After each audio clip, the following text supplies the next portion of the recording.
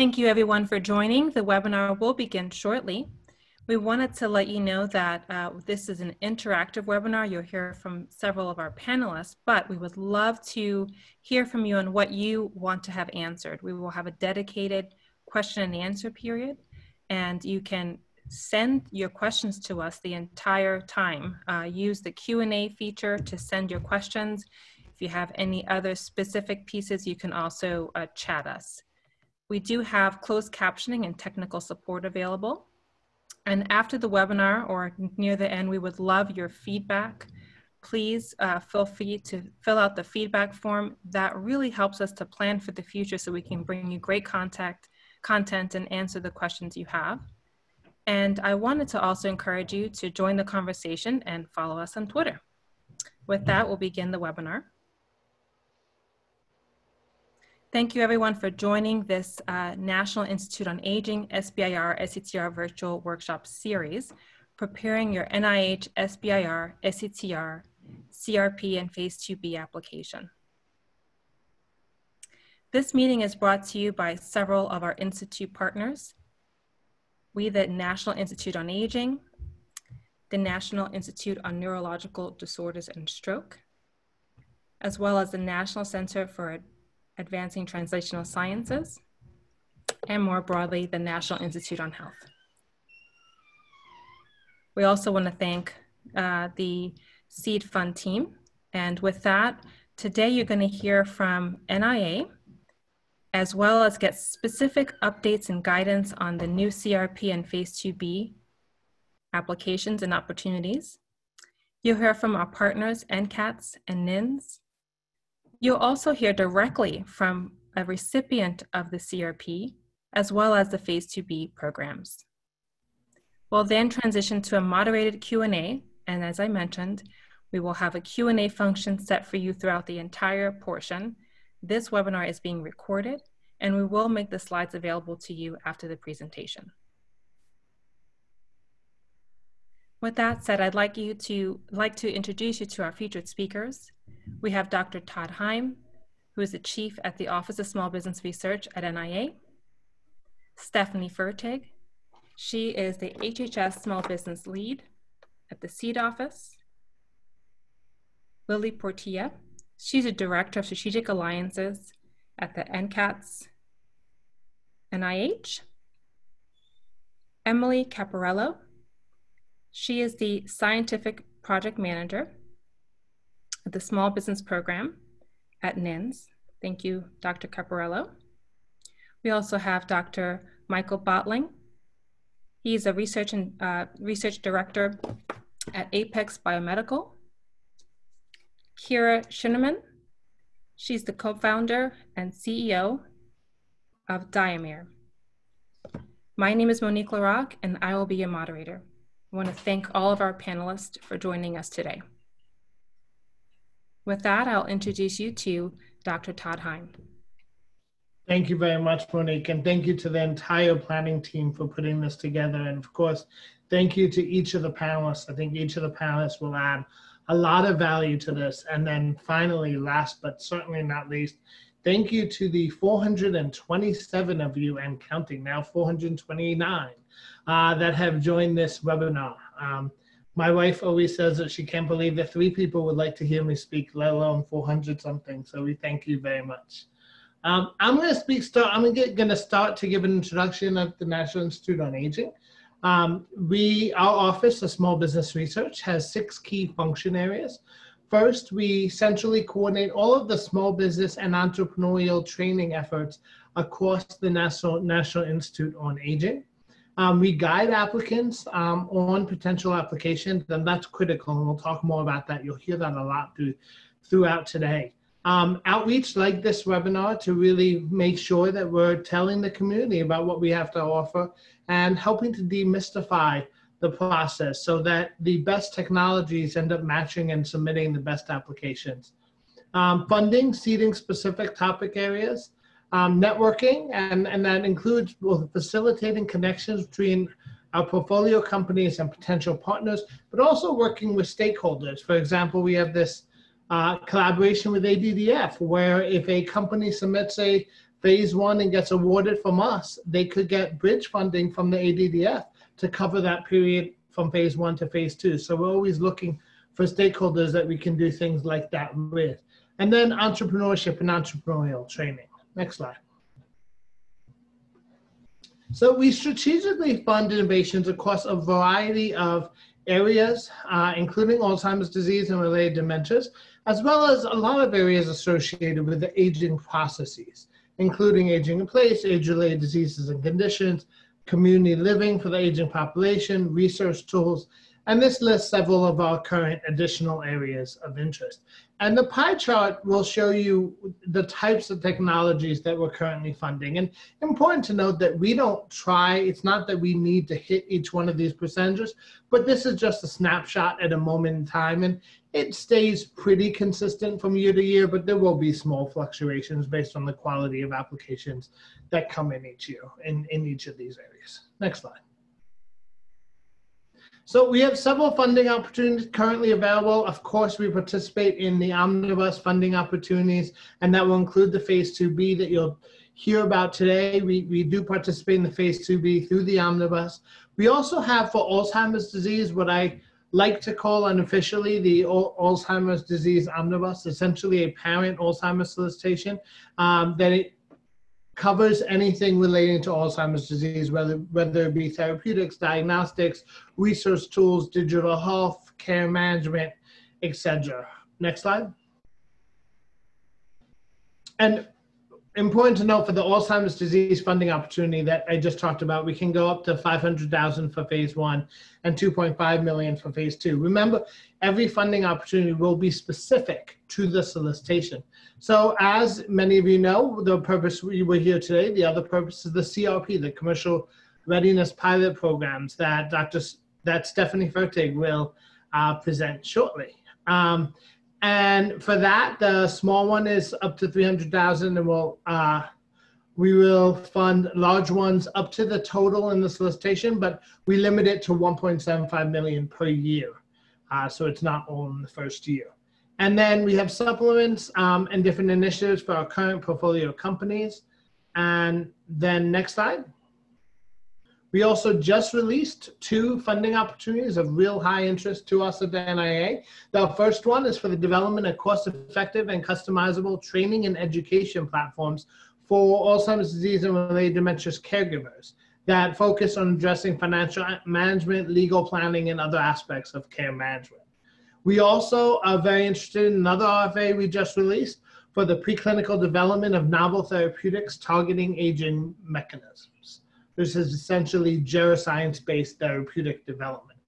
And we have pre-application webinars coming for both of us. There'll be a, a way for you to sign up uh, if you're interested um, through the chat and we're, we're sending a sign up uh, link through the chat and we can definitely um, let you know of those webinars. Next slide. So we have several resources for those that have not been awarded by the NIH yet. We do have an applicant assistance program that we participate in. That's a 10 week coaching program to help develop you, uh, to help develop your application. We also have, uh, as you know, you, as you may know, you could apply for technical assistance funds as part of your application. If you're already funded by us, you can apply for a diversity supplement. There are several resources through Stephanie's office, the SEED, Small Business Entrepreneurial Education and Development that uh, you would have access to as a company funded by any institute at the NIA, NIH, including the NIA. And finally, we offer entrepreneurial training programs such as C3I for the NIH and I-Corps um, at NIH. Next slide.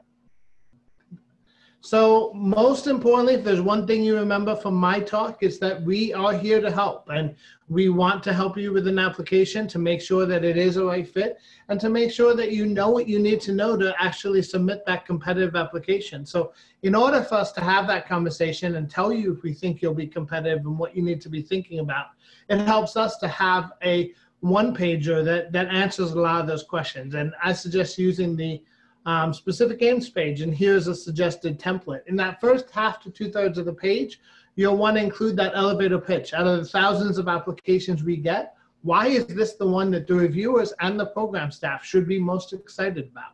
Um, and then in that last third to half a page, the actual aims and key milestones for the project. If you submit that to us at least a month before the deadline, we will make sure that one of our experts will uh, provide guidance to you on that and on your application. Next slide.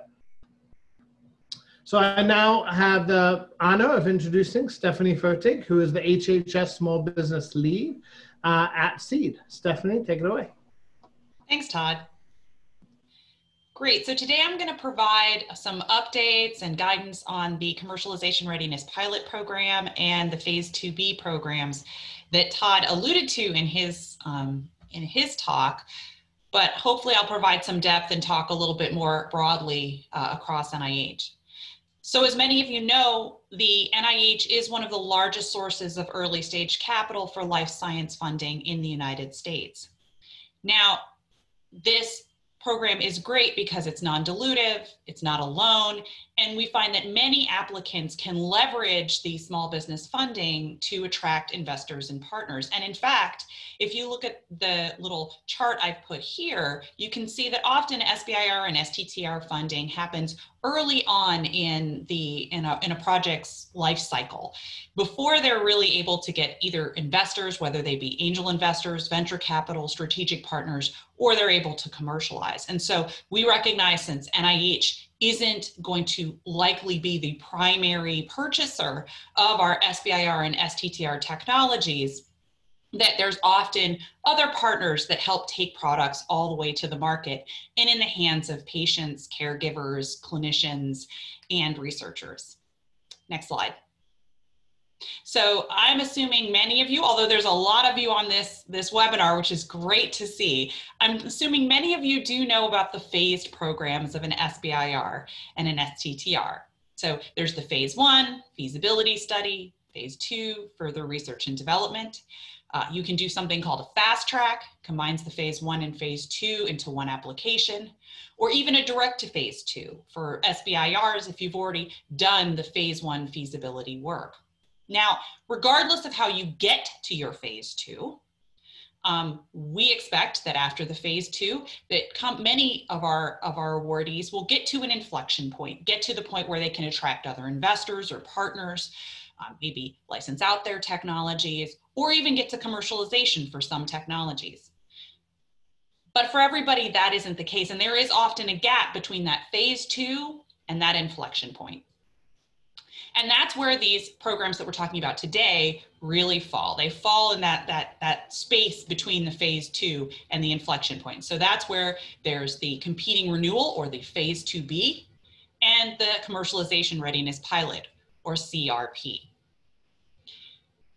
I would be remiss if I didn't um, talk a little bit about budgeting because we do get a, a, large number of inquiries about the budget and the flexibilities associated with the budget. We do have a waiver um, from the Small Business Administration that allows us to award some proposals ab above the normal guidance for an SBIR or STTR. But every institute does have different budget guidance. And you see Todd talked a little bit about the NIA's budget guidance. And so it's important again, and I think we're going to hammer this all home today. It's really, really important to reach out and talk with the program officers, talk with us. We're here to answer questions, we're here to provide that guidance. Now, with the programs that we're talking about today, the Phase 2B and the CRP, again, there are some differences in budget uh, depending upon the institute um, that's participating. And not all institutes participate. So again, that's why it's so important to reach out and talk to your program officer. Since if you've if in order to be eligible for these programs, you have to have a phase two. And so you'll have a program officer associated with that phase two. So important to reach out to them and speak with them. Next slide. So let's talk um, some of the details, some of the big differences between the phase 2B and the CRP, because in that last chart, they looked like they were filling in the same space. Well, there are some unique um, differences between the two of them, and I've tried to highlight them on this slide. But as always, it's really important to reach out to us and read the funding opportunities very carefully. There's a wealth of information in those funding opportunities. And so it's important to read through the funding opportunities that will help you when you're formulating your questions for your program officer.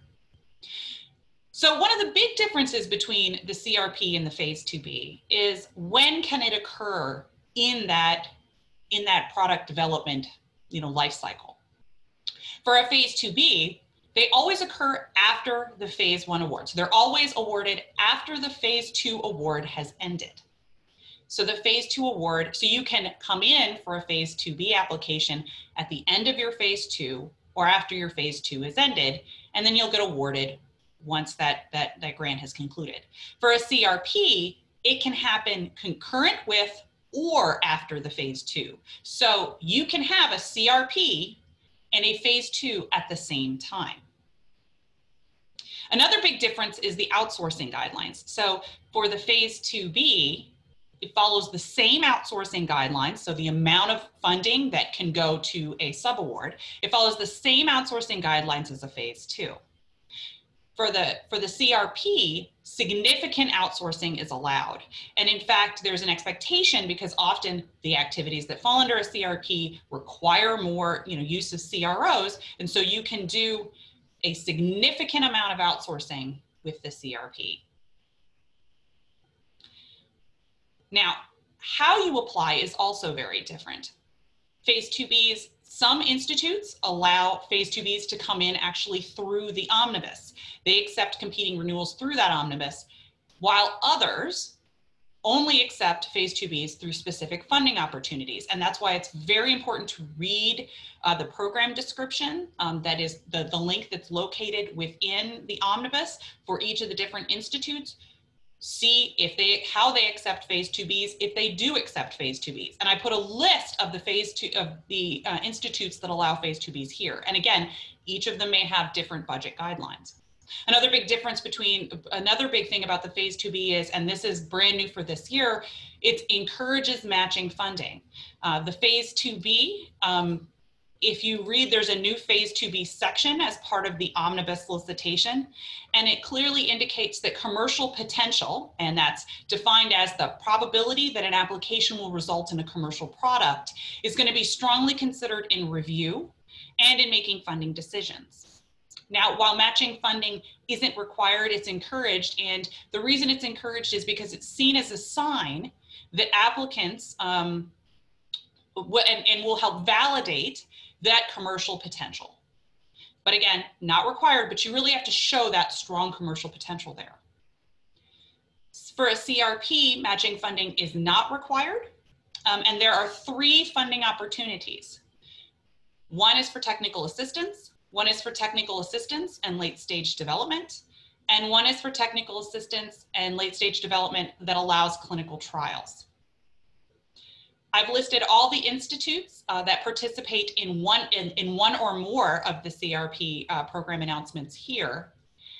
However, again, it's, it's very important that not all institutes are signed on to every one of these different FOAs. So some, for example, only allow for technical assistance while others do some technical assistance in late stage development. Now, while the phase 2B really covers, basically it's a second phase two, the CRP is a little bit different because it allows you to do things that are normally not part of a phase two. So things like technical assistance associated with development of a regulatory strategy, design and planning for a clinical trial, an intellectual property strategy, including analysis of patent, the patent landscape, and technical assistance associated with manufacturing. For those that include late stage development, it can include anything from replication studies to IND, IDE enabling studies to validation of assays, um, and for the ones that include clinical trials, even some clinical trials. So it's there's a little bit of differences between what the two actually um, actually allow. But again, the important thing to note is it's really important to contact your program official. Talk about what your next steps are talk about what your company needs, and then they can help you decide what's the best path for you to moving forward. So next slide. So as uh, Todd indicated, I am part of SEED. So SEED is a word, it's, it's you know, the SBIR and STTR program is America's Seed Fund, but it also stands for Small Business Education and Entrepreneurial Development. So beyond the phase two and the CRP, there was a real recognition that, again, a lot of companies may be brand new. You know, people, this may be their first company. They may be academics and transitioning out into the small business world for the first time. And we really needed to do broader support of the NIH innovator community and really help our NIH innovators move things again towards the clinic to be able to help NIH meet its mission of turning discoveries into health. And so in addition to supporting the SBIR and STTR program, we also provide uh, different programs in, in academic innovation and innovator support. And today I'm gonna talk a little bit about that innovator support piece. So next slide. So there's a number of commercialization, there's some commercialization support that you can get uh, across NIH. And this is part of, again, the SBIR program, but also more broadly. So there is technical and business assistance that you can ask for either as part of your application, and I put the budget amounts here, and Todd alluded to this as well, um, or through a centralized program. And historically, that was the, the niche assessment program and the commercialization accelerator program. Uh, those two programs have ended. And one of the things that we can say is coming soon is the needs assessment program um, that, that we're planning to launch. However, we also have, again, because many of our applicants are brand new to, to the whole uh, business enterprise, different entrepreneurial assistance and training, and that's through I-Corps or the C3I program. Now, as I alluded, many of uh, some of these, these more trans NIH technical assistance programs um, are either ending or some new ones may be starting. So again, you can always look and see what's our currently available technical assistance and training on the SBIR website, and I put a link here. Next slide. So, but beyond those uh, technical assistance and, and more formal technical assistance training programs, at SEED, we provide strategy, finance, and access to these commercialization experts. So we have a senior regulatory specialist on staff and we have entrepreneurs in residence. And these individuals help companies transition and again, get to that point, you know, move them down the product development pathway. In addition, we provide partnering opportunities and pitch coaching opportunities to our awardees. And it used to be all across the country. Now it's it's very virtual, um, but we still provide opportunities for companies to go to some of these different events to, again, meet with potential partners, we meet with potential investors uh, to move things forward. Next slide. So there's a lot of things and a lot of details, and I always encourage people to go to our website. We have a wealth of information on our website. I pointed out where you can find information on funding here, as well as information on that technical assistance. So if you don't want to remember the specific web, all the specific websites I have pointed to, sbir.nih.gov is a great place to start. Next slide. And it's always important and the most important piece of advice and i think we're all going to hammer that home again today is to talk with us well in advance of application particularly for these phase 2b and crp applications since there are some specific uh, policies and parts of the application you're going to want to make sure you include. It's really important to talk to your program official well in advance. And you can find a list of all the program officers and different program coordinators for the small business programs on our website. Next slide. So I encourage you to get connected as different things get released, such as the omnibus every year or the commercialization readiness pilot programs. Contact us, uh, subscribe to the listserv, follow us on Twitter, check the email, check, check our um, website. If you have questions, can ask the program officer, but you can also email us. Um, we do have an online inquiry form, but you can also email us at sbir at od.nih.gov, and we'll try to help you. And with that, I think we're transitioning. Excellent. To Lili. Thank you. And before Lili begins, I just want to remind folks to please uh, fill out the feedback form, as well as uh, if you check out chat, many of the resources that we're talking about, we're linking to. So feel free to take a look at those links or copy them at your leisure. We'll also plan to send the deck after this. We've received a couple of questions about that. We will make that available as well as we will email some of the links we've discussed. Thank you. And with that, Lili, please take it away. Uh, thanks, Monique, um, and thanks, Todd, for um, uh, offering this opportunity to collaborate with NIA. Um, I'm Lili Portilla. I'm the Director of Strategic Alliances. My office puts together all the collaborations for NCATS, but we also run the SBIR STTR program for the center. Uh, next slide. So NCATS is, um, we, we focus on translation, and I, I don't want to um, shortchange the other institutes by saying that they don't do translational work, but where our, our focus is more on bottlenecks around translation uh, all the way from preclinical development to uh, uh, clinical development um, of, of technologies. Um, we uh, have an interest in platform-like technologies. We are disease agnostic, um, and, but at the same time, we do have an interest on uh, certain rare and neglected diseases as well too. Um, next slide. So I wanted to specifically uh, focus on the phase 2B and CRP programs and how we, um, our grantees can engage in these uh, specific programs. So for both the phase 2B and the CRP, we we here uh, at NCATS have to be supporting uh, your, your phase two grant, um, meaning that you can't come from another institute that you're currently being funded under a phase two to apply to NCATS.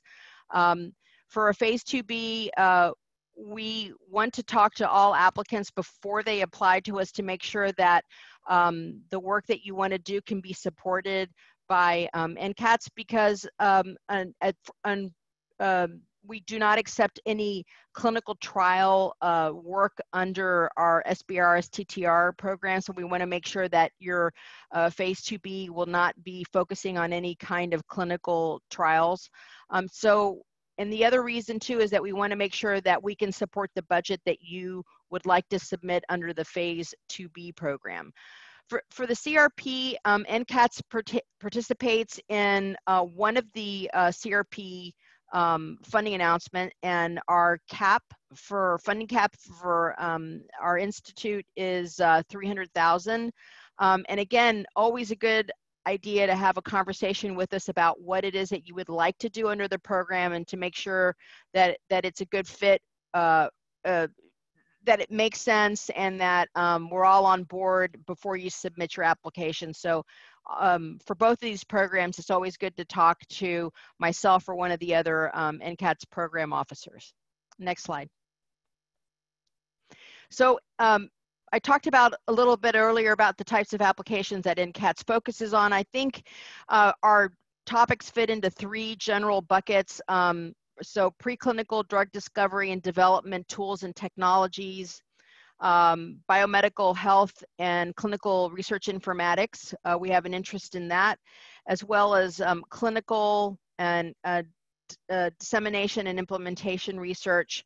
Um, for that last bucket, it's things like how to do better clinical studies, um, tools to make that happen, IRB uh, management tools, uh, recruitment tools, um, and we also uh, like to fund things that are a good, um, um, uh, uh, that uh, align well with other programs that we have. We have the Clinical um, Translational Science Award program uh, that we uh, manage out of NCATS. We also have um, the Office of Rare Disease Research, and they have some initiatives as well that dovetail nicely with some of the things that we are looking to um, fund under our SBIR STTR program.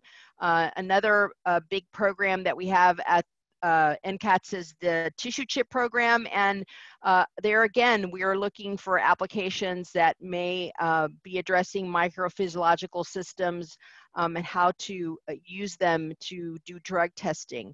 So um, if you look at some of the other programs that we have at NCATS, we always like to leverage SBIR to also fund um, topically some uh, things that align with those big, uh, with those larger programs that the center funds.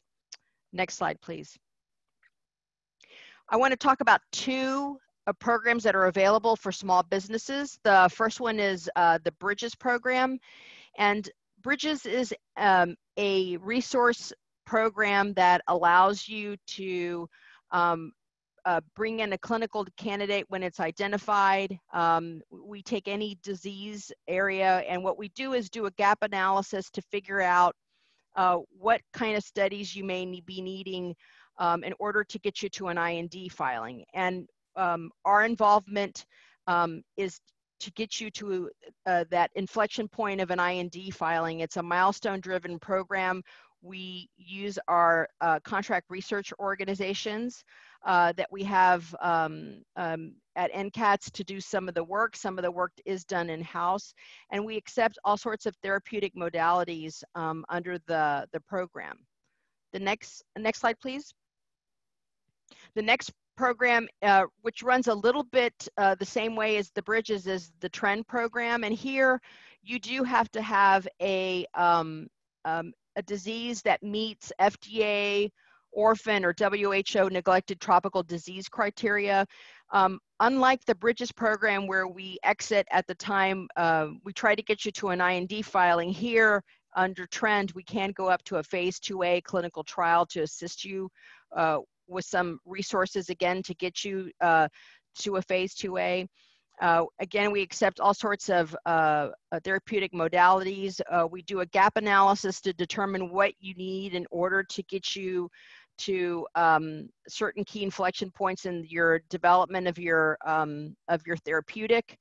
Uh, you you can enter at various stages of preclinical development, like when you have a lead identified, or maybe uh, you need to get some tox studies done, or um, um, scale up uh, and manufacture of, of the therapeutic that you're working on. Um, and again, uh, all these programs are resource programs, and uh, uh, they accept applications on a rolling basis. Next slide, please. So here is a quick example of how you can leverage SBIR and uh, the Bridges and Trend program. So we had an academic investigator who had developed a new um, molecular entity for a, a, treatment of a rare disease, and she'd cobbled together enough money uh, using R01 funding and STTR to about $3.5 million.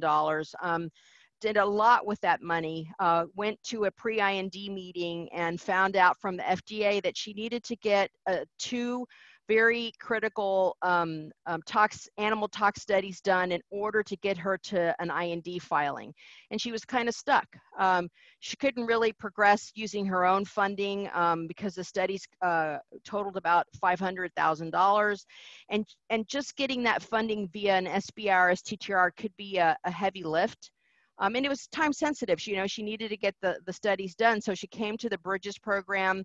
We looked at the data she had and, and we figured out that we could indeed help her by um, enlisting some of the CROs that we had um, uh, working for us to, get the, the animal studies done we were able to provide her the data. Uh, she was successfully filed an IND, and as a result of doing that, she was able to raise about $50 million worth of VC Series A funding. So this is a great example of how you can leverage the two programs um, to get you to key um, inflection points in the development of your technology. So I believe that concludes my uh, slides. Uh, um, and if you have any questions, uh, please put them in the chat. Thanks a lot for your time today. Thank you, Lili, and uh, thank you, Stephanie, as well. I'd like to now introduce Dr. Emily Caporello.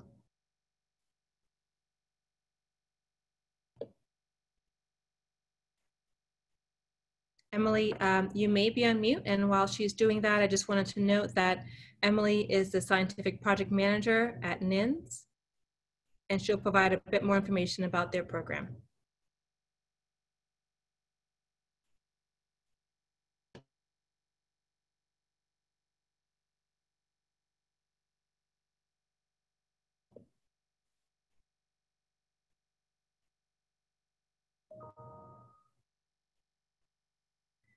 I'm going to suggest that we um, move ahead and then yes. we will.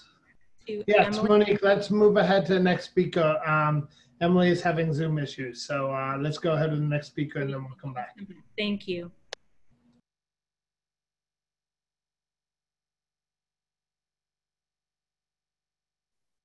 So now it's my pleasure to introduce uh, Dr. Michael Bottlang. He is the R&D Director at Apex Biomedical and is going to provide some feedback from the point of view of someone who's received the award in the past. Thank you. Well, thank you, Stephanie and Todd, for inviting me, and thank you for the support again. Um, this CRP was really conducted in collaboration between Steven Madey, he's an orthopedic surgeon, and myself. I'm trained in biomedical engineering. And this project was about making better, safer bicycle helmets based on the fact that brain injury comes from mainly from a rotational spin to the head, not so much from a linear impact. And um, uh, this is a fundamental but little understood fact. And as an engineer, I started out by making computer models and showing that. And the feedback was always less than enthusiastic. And my collaborator, Dr. Madey, said, Michael, make an egg video. And I told him, as a trained engineer, I'm not making egg videos. But he kept pushing me. So I finally made it just to make go away.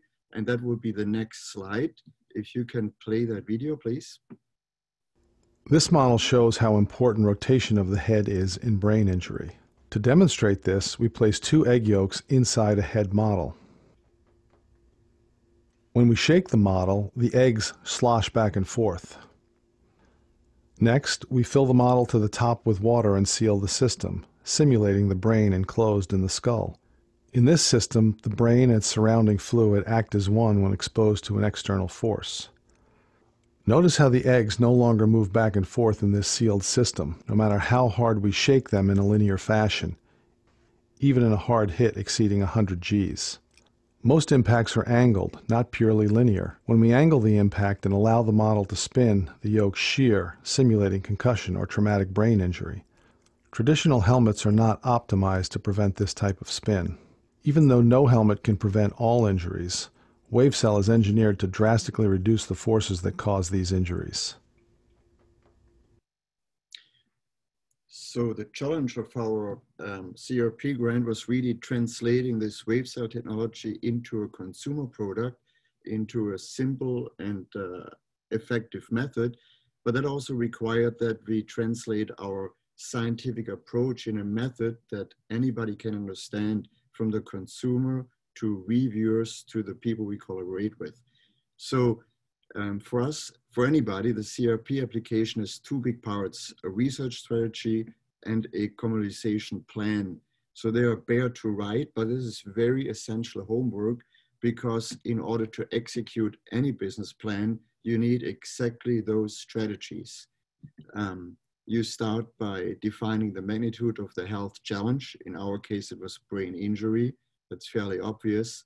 Uh, you want to highlight the innovation of your technology.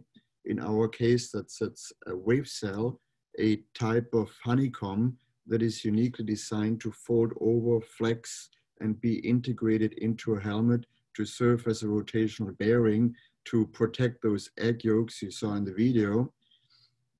And then you can outline the impact and benefits it has in reducing the severity and incidence of brain injury, but also the benefits on a commercial side by building a business in the US that now employs people and by us bringing out a new technology, now there are many other companies that all of a sudden start changing the way they design helmets. So it brings the whole field forward. And to do that, we started with four simple milestones. The first one was streamline manufacturing parameters. How can we make what worked in the lab cheaper? The next milestone was develop a production process. How can we make a lot of it? The next milestone, implement a quality system, is something I feel should be in any CRP proposal because if on a milestone two you start making something in a large quantity, you want to make sure the quality is right. Otherwise, you have a really large problem. And uh, milestone number four is really home to us researchers because it was about testing our final product, how it compares to a standard helmet how big is the advancement in numbers? Uh, next slide, please. In terms of the research strategy, I just shared here a simplified table. Again, you see the four milestones, and I would recommend to keep the goals simple and realistic. We focused just on bicycles and just on a single helmet model. Milestone one, deliverables, we wanted to have a 30% cost reduction to make it actually feasible as a consumer product. Milestone two, we need to develop a machine that produces this material in large quantities. And you see in the lower half of the slide, we have our collaborators. The CRP is ideally suited to support you with hiring consultants and outsourcing. Here we use a company called Sigma Design. They have over 100 engineers that do nothing else but building production equipment. For milestone number three, we hired a quality consultant because that was really a world we didn't even know about. So they could help us making a sound quality system. Milestone number four, we did in-house testing, but we can again outsource to uh, outside parties so we have strong evidence for the performance of our technology. Uh, next slide, please. The second part of the CRP grant is the commercialization plan. So you want to know your market size. To get to those marketing data, sometimes you need to spend some money to get those data, but that money can be very well invested because you might think like everyone talks about football, let's make football helmets. But based on market analysis, you would find that that's actually a fairly small market. Bicycling worldwide is way, way bigger. You want to know your competition. In the graph on the right, you see how we tested standard helmets, our main competitor, our prototypes, and where we got a very good feel, can we really move the needle, advance the field? Now comes the very most important, important third step. You want to carefully select strategic partners. And there, the most important part is really the marketing. Um, because without marketing, no one would take up our technology. It's the most important thing, and marketing can be very, very expensive. Um, in this case, we licensed our technology exclusively to Trek uh, the Bicycle Corporation. They have a good reputation. Um, interestingly, the engineers believed right away in our data, but they would have never licensed it unless they saw that funny egg video, because that's where leadership could buy in right away. Now, by bringing them into the loop, I bet they spent upwards of $1 million for the global release uh, a little bit over a year ago. So again, with the right partner, you can leverage everything you do. Um, you of course select carefully your consultants for business, for quality. Um, our best consultant was really uh, OMEP. It's an Oregon nonprofit uh, organization. I think that exists in most states. These are senior experienced people that try to help you in surviving your business.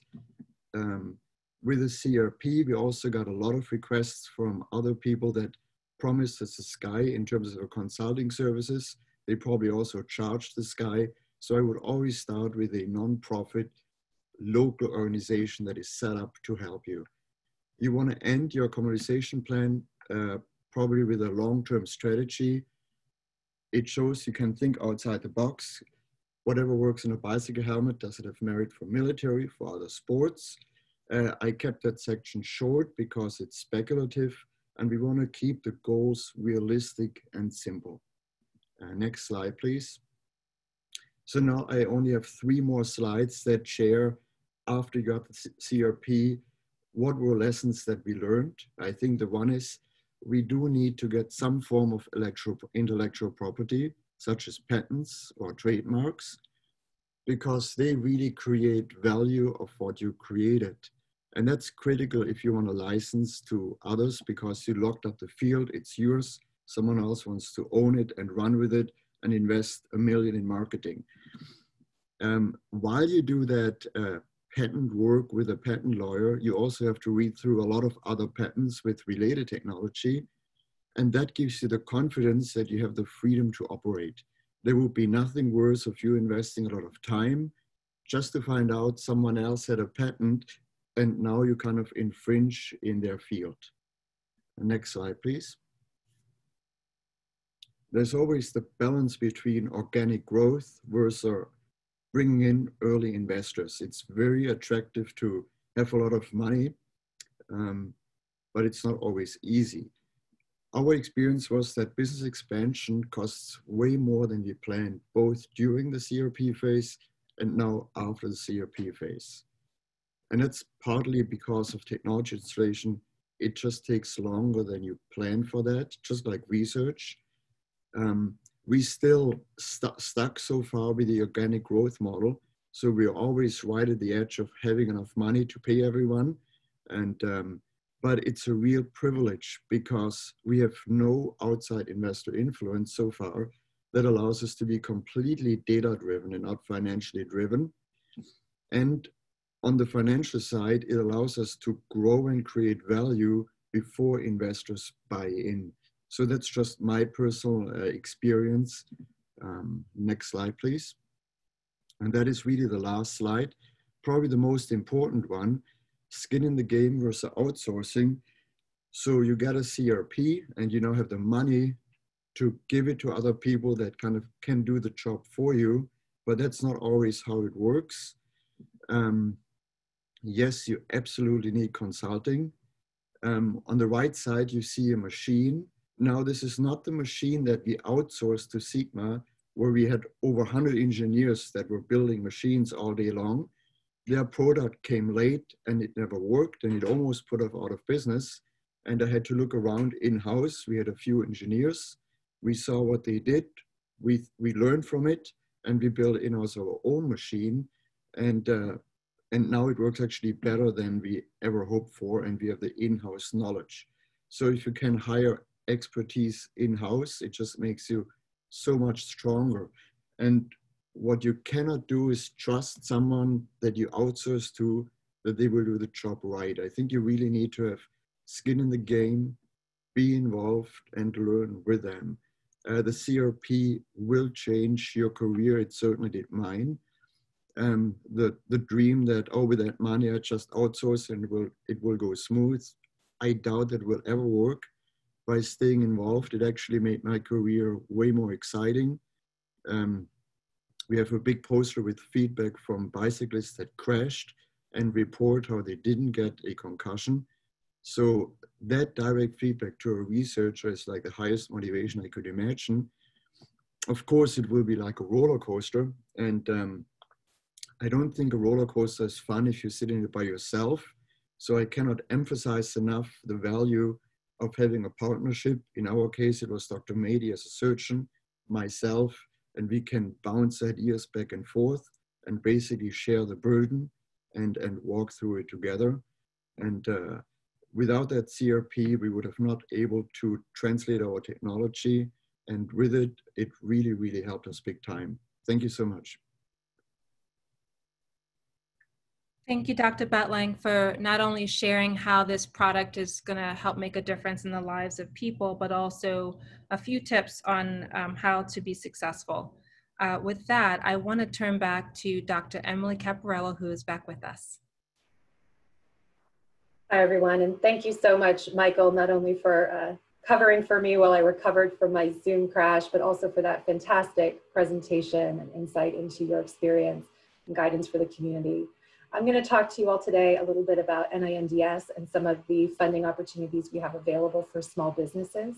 I'm going to start by going over the NINDS mission space and uh, the indications that we support. So NINDS is one of several institutes that supports neuroscience research and development. Um, specifically, NINDS supports uh, indications in the neurological space, which includes stroke, epilepsy, neurodegenerative disorders, spinal cord injury, traumatic brain injury, neurogenetic disorders, and uh, many other indications that fall under neurology. If you're not sure whether your project would fit under the NINDS mission, I very much encourage you to reach out to either myself or my colleague, Dr. Natalie Trzynski, and we'll be happy to either confirm your alignment with our mission or refer you to the appropriate institute. Next slide, please. I'm going to focus today on the funding opportunities under the Phase 2B and CRP programs. NINDS does support applications for both of these mechanisms. For Phase 2B, we uh, do not participate for, in Phase 2B funding under the omnibus. we have a separate funding opportunity announcement for phase 2B applications. For preclinical applications, this is PAR 17480. And for clinical research or clinical trial applications, this is PAR 18665. Both of these applications support awards up to a million dollars per year for up to three years. And both of these funding opportunities strongly encourage matching funds. For the CRP program, NINDS participates in both of the technical assistance and late stage development funding opportunities. This includes the preclinical funding opportunity, PAR 20129, and the clinical trial late stage development opportunity, PAR 2130. Importantly to note for NINDS, our phase 2B uh, applications that are proposing a clinical trial do require applications to include an approved IND, IDE, or an indication of non-significant risk from the FDA or your IRB at the time of submission. And while this is not, these materials are not required for CRP applications to NINDS per the FOAs, NINDS does prioritize funding to applications that have these materials at the time of application. Again, we very much encourage you to reach out to our program staff if you are considering applying to NINDS, uh, especially for phase 2B or CRP opportunities, and we'll be happy to discuss your project with you. And that's it. Thank you. Thank you, Emily. Uh, and again, everyone, please uh, feel free to reach out to some of the contacts you've heard from today. We have chatted their emails and contact information if you want to learn more about each of the institutes. Uh, I also want to encourage you to fill out those feedback forms and continue to send in your questions. We are tracking them all and we'll get to them shortly. With that, it is my pleasure to introduce Dr. Kira Sheinerman. She's the co-founder and CEO of DiamiR. Good afternoon. Uh, I'm Kira Sheinerman, the CEO of DiamiR. We are a molecular diagnostics company focused on developing blood-based tests for early detection and monitoring of brain diseases. We have been working with the NIA since 2013, and I'm most grateful to their continuing support. Next slide, please. As a way of brief introduction, DiamiR has developed a proprietary diagnostic platform technology based on the analysis of organ-enriched microRNAs in blood plasma. Our first product is in development currently. It is CogniMIR for early diagnosis and prediction of progression of Alzheimer's disease and mild cognitive impairment, including in clinical trial setting, which is a huge unmet need. We collaborate with uh, academic labs and pharma, as well as with disease foundations. Next slide, please. This slide depicts the core of our technology. Once synapse dysfunction and loss begin in early Alzheimer's, microRNAs enriched in the affected brain regions and present in synapses appear in the extracellular space and can be captured in the blood as biomarkers of neurodegeneration. To date, we completed proof of principle and confirmatory studies in over 1,000 samples, built a strong IP portfolio, and published our work in peer-reviewed journals as well as presented at relevant scientific and industry conferences. Next slide, please.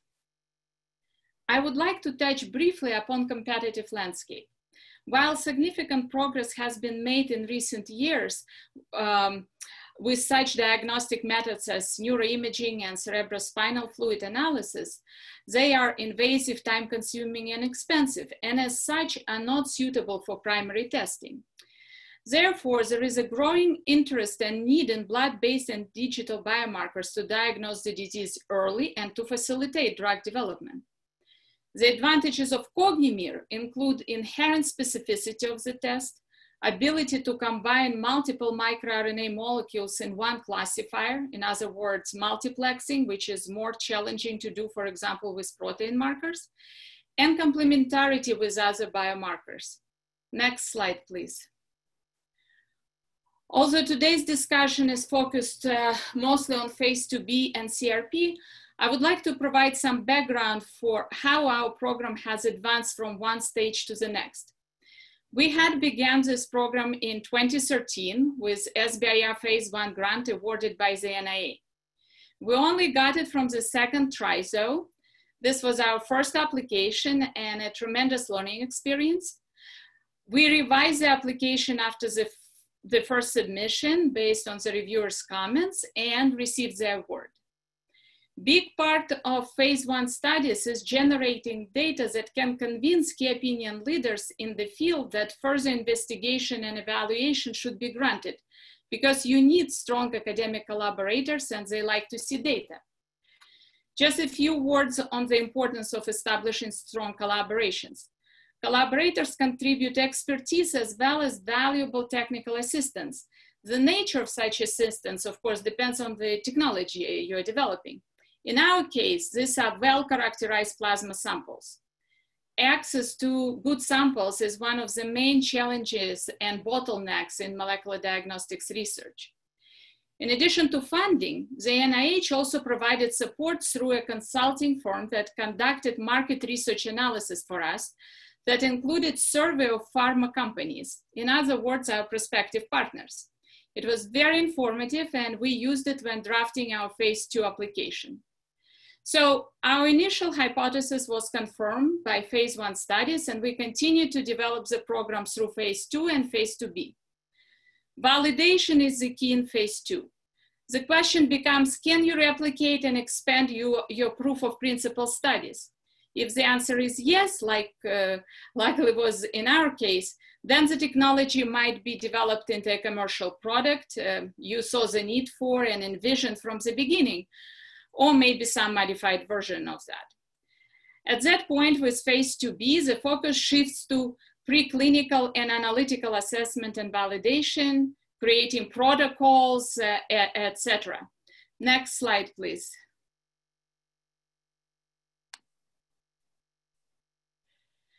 Uh, I would like to share some of our takeaways with you today, what actually worked for us.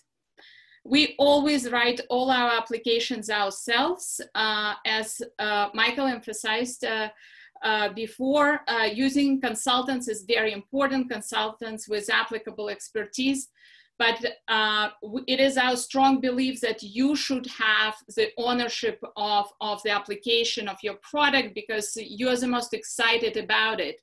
Of course, you would like to cross all T's and dot all I's and, and make the final product uh, terrific. Um, but, but, but, but we do believe that you should be in charge as uh, the application, both research strategy as well as commercialization plan come together. Um, the data is key um, to move from one stage to the next uh, and, and, and uh, to, to, to commercialization. Of course, you need to ha have this data. And at some point, you need to make the staff decision of go or no go. Sometimes uh, phase one data may not be as exciting, and then you, you, you know it, it, it's tough to, to, to take it, but uh, but it may not the program or the project may not be phase two or phase 2B material. Um, and um, while our lead program in uh, brain uh, diseases um, has been successful uh, so far. Um, we we had to to take those make those decisions uh, with, with, some of the other programs. Um, now, uh, an important thing is, as also Michael mentioned, is patents. And while as uh, CRP does allow for some of the funding to go towards IP, phase one and phase two and phase 2B are not as generous in this regard. So uh, I would recommend if you do receive those awards, use the 7% fee that you can um, use uh, and apply to anything wisely. Because of course, creating IP is very important uh, and, and, and, publishing your work in uh, high profile journals is also very important because this way you attract key opinion leaders uh, to work with you. Uh, we collaborate a lot, we partner a lot, uh, and um, we constantly talk to prospective investors as well, financial advisors. So when the time came, we uh, received uh, very enthusiastic letters of support from our collaborators, from our pharma partner, uh, as well as from um, our financial advisor as well. uh, it is important to show we believe that others, third parties, are enthusiastic about your technology and approach, not just you. And of course, uh, uh, the main key components of commercialization plan are the same uh, as when you, for example, pitch to investors. How strong is your uh, management team? Do you know your direct and indirect competition? Do you know your market, the size of your market? Uh, how do you plan to, to launch the product and market? These are all important questions. Uh, if you have already started speaking with uh, you know, private investors or venture groups, uh, this is the same questions they ask as well. Um, again, uh, engage the relevant expertise through consultants. All small companies um, typically have uh, a number of consultants. It's hard to afford everybody full time. So, so we work with many consultants. And finally, for a small company, we feel it is important to stay focused. Some even say uh, laser focused uh, just because uh, it's easy to get distracted and continue to generate relatively early data, maybe in different indications, for example, whereas it is important from business perspective to continue pushing uh, the lead program um, to later stages. Thank you very much.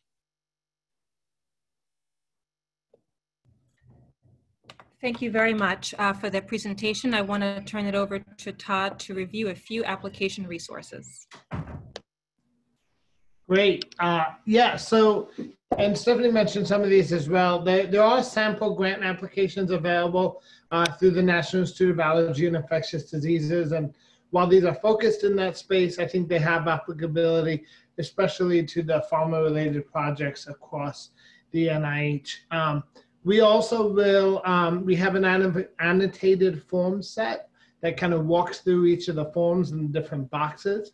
Uh, especially if you haven't applied for an SBIR before, definitely suggest you click on that link for the SBIR STTR application process infographic uh, that's available through Stephanie's office.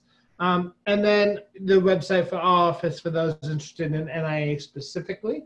Um, and if you are submitting an application and looking for, well, what else have we funded related to your technology? Definitely look at the NIH reporter. You could also use it to look at for potential uh, collaborators. Anything that the NIH funds, whether it's through R1s or small business, it will all end up, the abstract and the PI information, everything else will end up in NIH reporter, just the abstract, the PI, the contact information, and the budget totals.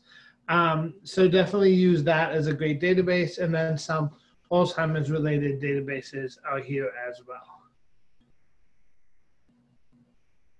And feel free to connect with all of us. Each of our contact information has been listed in the chat as well as on our slides. And we look forward to talking to many of you. I also look forward to, you know, the next uh, half an hour or so. We may be able to go a little longer to cover uh, a lot of the questions. We have a lot of questions that came in, which is great, and we look forward to a dynamic discussion. Thank and you. finally, I just want to thank the panelists. Um, I think they represent the scientific diversity of our portfolio. We, while most of the funds do go to farm-related projects like therapeutics, devices, the diagnostics that are regulated by FDA, we also um, fund projects that are not regulated like FDA. And Michael showed you one example, but the, those projects can be research tools, they can be digital health, consumer devices. So there, there is a, a breadth in terms of what we look to fund. And you know, if you ever have any questions about that, please feel free to let us know. Thank you. Thank you, Todd, and all of our panelists. Um, we will now be moving into the Q&A feature. Um, we are still accepting questions. We have received just under 100, so as Todd mentioned, um, we will extend this webinar to go to about 2.50 Eastern time, um, but we recognize that not everyone will be able to stay the whole time. We will try to get through as many questions as we we have several links and resources that may be able to answer some of your questions that have been chatted out. Um, we will also combine some of the questions. So if you don't hear your wording exactly, it's because it was very similar to someone else's. Uh, and then lastly, please just a reminder to uh, contact the ICs, the institutes and centers that you've heard from today. Uh, it's very important to talk to a program director before submitting your application. And please fill out the feedback form. With that, we'll move over into a few of the, the questions. Uh, the first question relates to figuring out um, which program and when. So um, which program between the phase 2B and the CRP has more funds? And is there a greater chance of uh, being selected for one over the other? Stephanie or so I am going to turn it over to you know Todd and Emily and Lili to answer that because that's the kind of question if you are specifically trying to decide what makes the most sense for you and your project you can ask questions about how does a specific institute, the specific institute that's supporting your phase two, how they utilize the CRP and the phase 2B programs.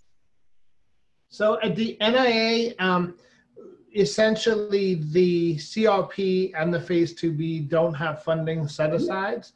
So we evaluate those in comparison to all the other projects and to each other. So, you know, I don't think I don't think it would. If you got a same score in a CRP or a Phase Two B, I don't think it would make a difference which one you apply to. That being said, I think as Stephanie went through, they, they each have their own kind of specifics, and you know, some projects are likely better and may score better if it's submitted as a CRP or as a Phase Two B. So, you know, my recommendation would be to figure out which program is the best fit for the project and that will give you your best chance. And that's, as Stephanie said, something we're happy to guide you on. I would echo that from NINDS. Um, we don't necessarily, we don't have a separate set aside amount for CRP versus phase 2B. And we would guide applicants to look at the unique features of each mechanism. So as Stephanie mentioned, CRP has a broader, um, a broader selection of activities that are available to be funded under that mechanism that go into the technical assistance areas. There's also different requirements as far as matching funding or outsourcing. And so it really depends on the specific project that you're pursuing on whether one mechanism would make more sense. So um, completely agree to start with a discussion with the program officer at the relevant institute. I I don't have any more to add for NCATS other than um, if you want to apply to either program, please talk to me or one of the other program officers before you go in putting the application. Like I said, I want to make sure that it's a good fit what you want to do for for NCATS and it makes sense in terms of the, what we just previously funded via the the phase two. Uh, so have a conversation with us before you apply. Yeah, and let me add one thing. We we have been putting in, you know, email addresses such as Dr. MD Kearns in our office that uh, can handle a lot of application questions. But if you already have a phase two and are at the point where you're thinking about a phase 2B or CRP, strongly, strongly recommend that your first contact actually be to the program officer that is already the program officer on your phase two because they would know the project the best and they would be the best first contact. And we all work closely together. So, you know, if your program officer, if they have questions about some of the business questions or the specifics about the CRP, they'll connect you to me and we'll have a call together. But but it's always best to start with that program officer. Thank you. Uh, this question is for Stephanie. Will the information that was presented today be applicable to other NIH institutes?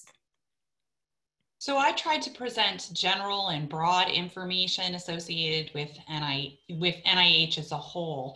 And again, since each individual institute may have different budget guidance, um, may participate in some program announcements versus others, some institutes do the CRP versus some institutes only do, you know, the phase 2B and vice versa. It's really important, again, as Todd was saying, that first contact, that program officer that you, if you've for both of these programs, you need to have had a, an awarded phase two.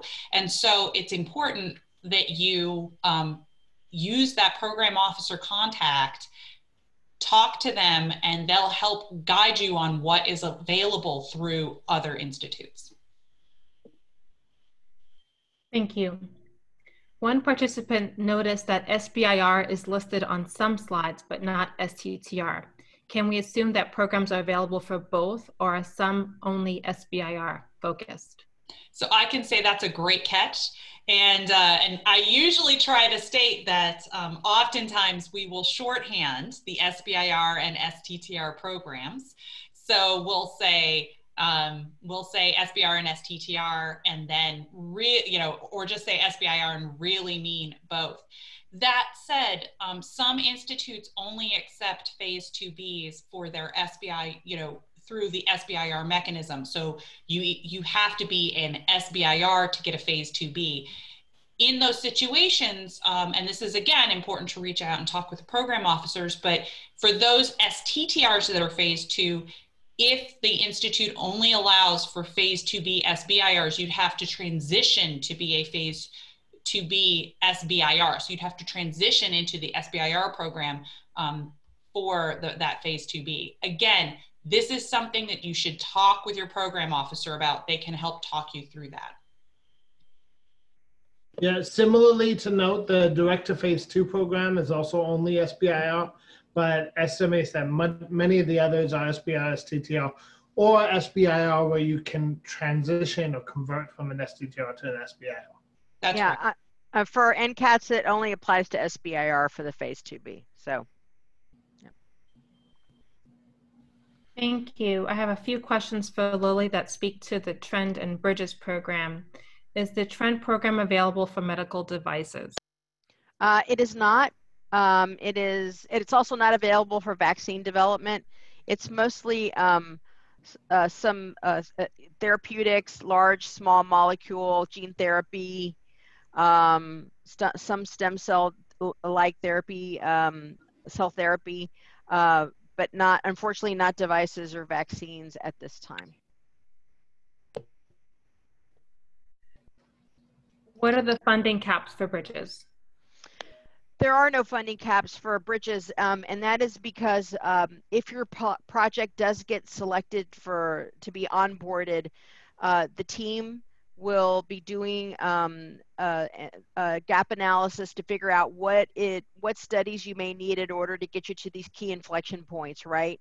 Um, uh, and um, as a result, and again, you're use it's a resource program. We're not handing over money to you, but you're able to get access to resources that we have via our um, uh, CROs that do all sorts of uh, different uh, type work.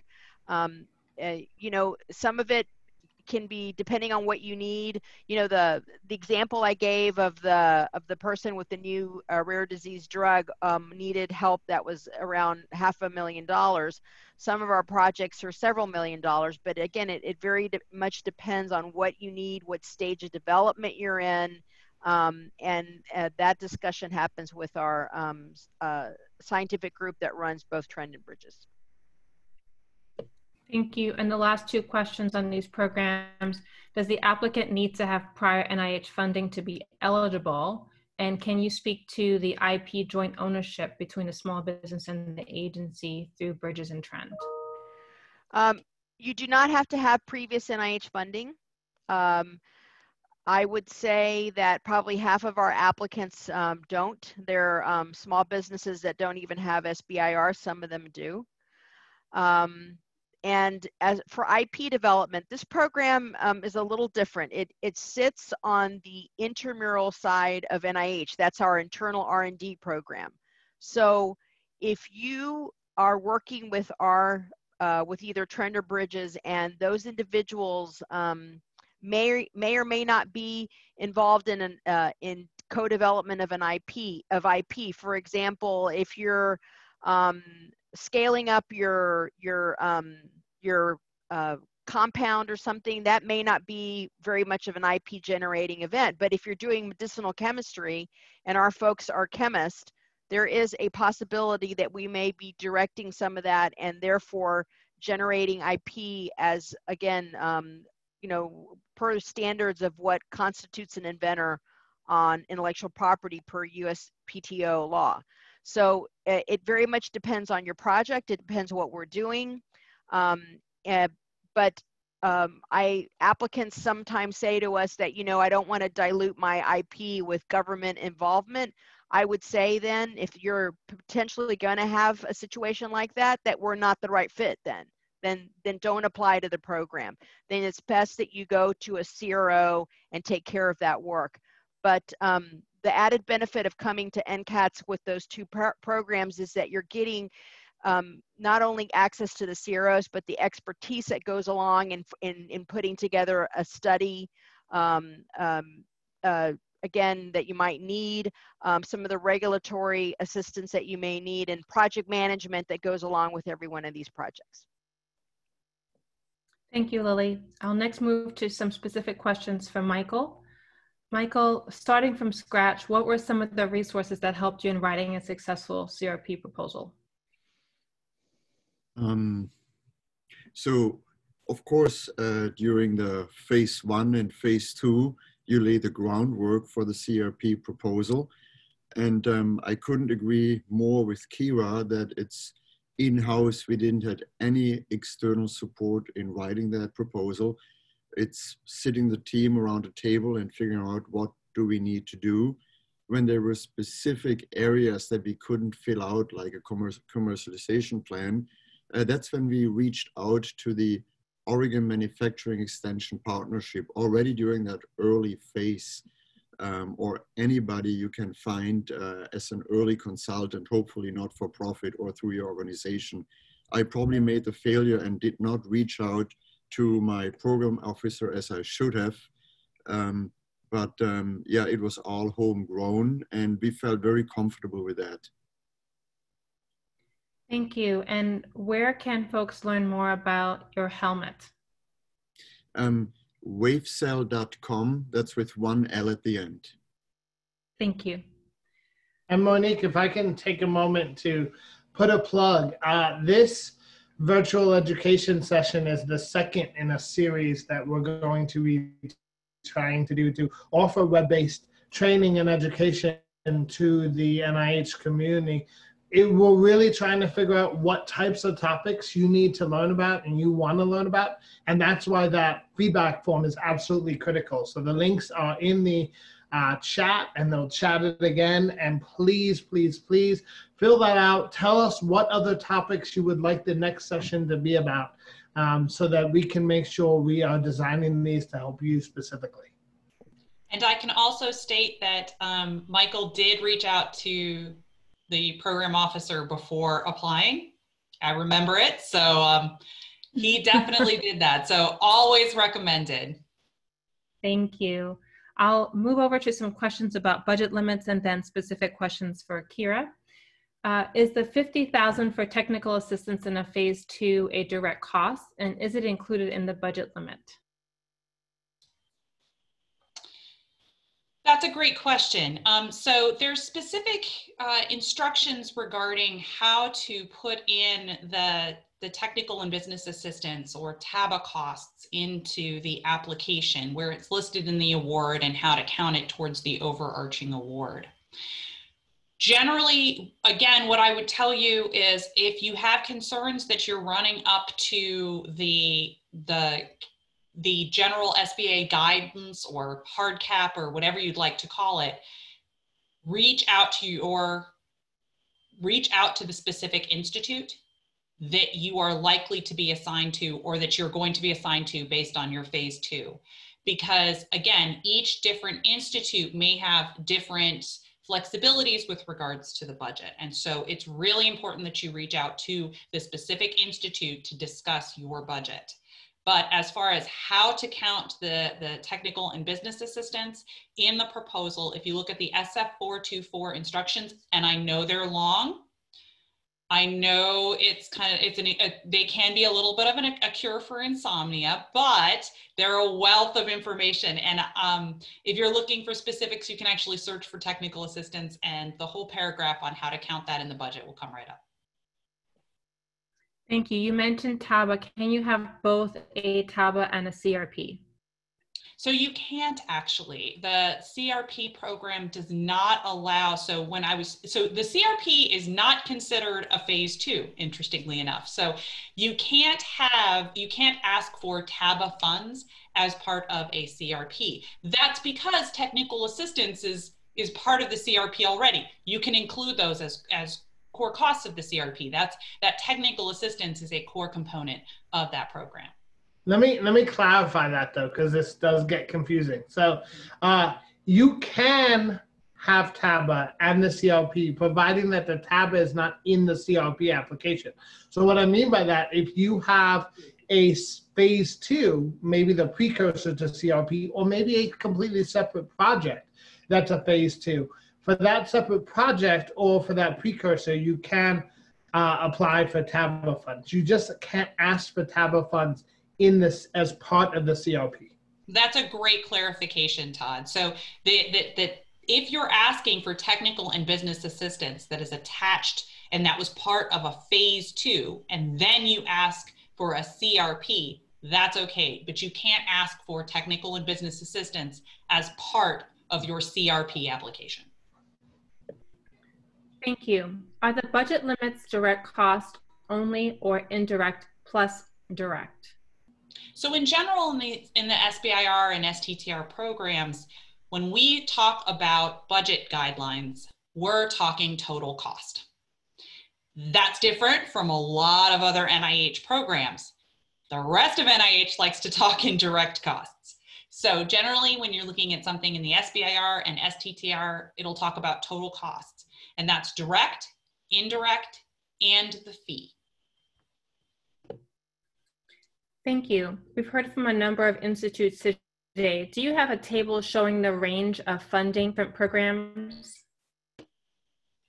So in the general omnibus solicitation, and the most recent one was just released, there is specific information about the program descriptions and research topics for all the institutes and centers within the NIH, CDC, and FDA. And so within that document, you can go to a specific institute and center and it actually charts out how they accept clinical trials, what are the specifics with regards to their program. So I encourage individuals, if you have an inkling of which institute you're likely to be assigned to, if this is a first award for you, since we do have a number of different participants on today, or if you're doing, you have a phase two, um, you know the institute that you're currently assigned, read that document. It's, again, it has a, a lot of information about the specifics around specific institute and center programs. Also, if you are looking for specific funding opportunities that are SBIR, STTR cost, if you look at this current slide and the third bullet down the NIH guide, you can actually look through the NIH guide and filter by just SBIR, current SBIR and STTR funding opportunities across the NIH. So that's another good resource for you. Mm -hmm. Thank you. Is the technical assistance above the budgetary cap or is it only allowed as long as the budget remains under the SBIR cap?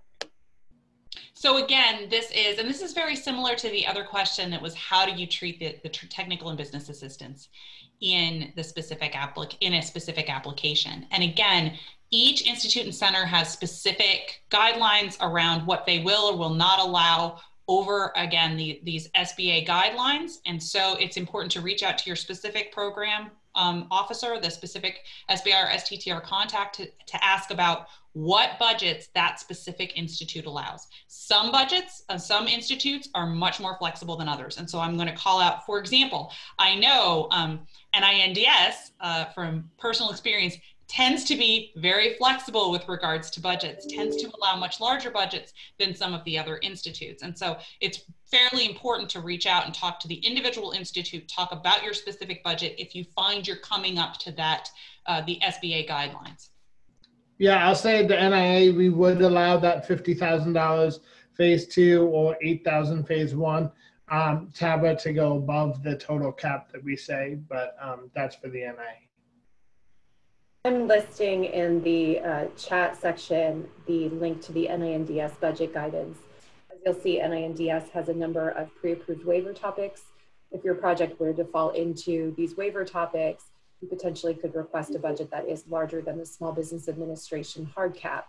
um, within the guidance set at that at that site. And I think if you uh, contact the appropriate program officials at the institute, you may see that they have uh, similar policies or at least be able to give you guidance on their own um, budget guidelines. Yeah, and and for NCATS as well too, we we certainly have a wide ranging um, um, waiver topics that we can uh, that your project will you'll probably be working in because they're written so broadly. So so uh, that that also works. And and um, uh, regarding the the fees, yeah, we we do not count them as part of that uh, those uh, uh, budget caps. So, uh, but again, you know, I'll I'll keep saying this. Have a conversation with us before you apply, just to make sure that you know we can support what you're what you're proposing in the uh, in your application. Yeah, and I'll say same for NIA in terms of the waiver topics. Uh, you know, and it's not just necessarily the NIA waiver topics. We and many other institutes will allow as long as you, uh, you know, fit any waiver topic from the NIH, then then they will allow you to go up to at least for NIA, we will allow you to go up to whatever cap we set in the funding opportunity. So those caps, like for the Alzheimer's disease funding opportunity of 500,000 for phase one as an example. That's that's the cap for any project, which is really almost any Alzheimer's project that we get that fits the waiver topics. And our waiver topics for Alzheimer's are broad to include those. Thank you, everyone. How can we access prior commercialization plans to use as a guideline and for budget proposals? That's a great question. And as Todd uh, discussed at sbir.nih.gov, if you go under resources, there are sample applications and some of those sample applications do are phase two sample applications or fast track sample applications that have a commercialization plan in them. So top link on this slide. Thank you. Is there support for device development, such as support to prepare an IDE or a 510K? So with regards to the, the CRP and the phase 2B, depending upon the specifics of what you're planning to propose, that could fall within one of those, um, one of those programs. Again, if you've got a specific request, you're trying to figure out what's the best possible way for me to support um, preclinical, pre-IDE um, work and then moving to the clinic. There may be also specific programs at um, at the different institutes that can support your specific project. So, for example, if you are thinking about doing a project and you're not quite sure, you know, should I go for a CRP? Should I go for a phase 2B? Is there some other opportunity that an institute provides? That's when you can reach out to your program official. What's interesting is that I think Lili kind of touched on this with regards to BrIDGs. So there are SBIR specific programs but there are often programs that are open to more than just SBIRs. And so some of the institutes may steer you towards a program that might not be SBIR or STTR specific, but may allow companies and might be the best fit for your program or your project as well. So I don't know, Emily, if you want to jump in because I know NINDS, for example, has specific programs for um, ID, IDE enabling studies and then a small clinical study associated with it. Absolutely. So at NINDS, besides the, uh, the grant-based mechanisms of phase one and phase two, we also do participate in cooperative agreement mechanisms, for instance, through the Translational Neural Devices Program.